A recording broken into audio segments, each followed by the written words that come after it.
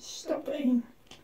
Stel aan de hand van het reactieschema de reactievergelijking op.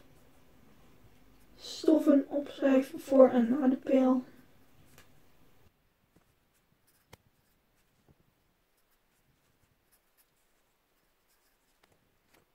Stap 2.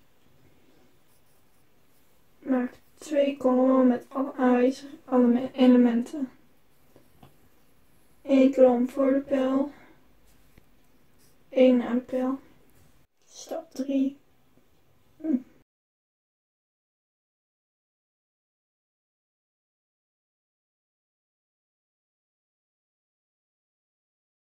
Begin bij voorkeur met het moeilijkste molecuul en eindig bij voorkeur met het makkelijkste.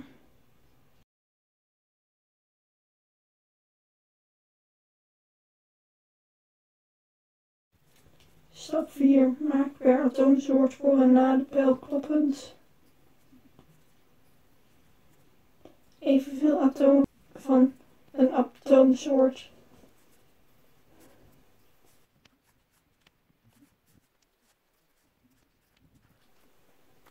Stap 5. Controleer. Staat er ook een 1 voor als er niks staat?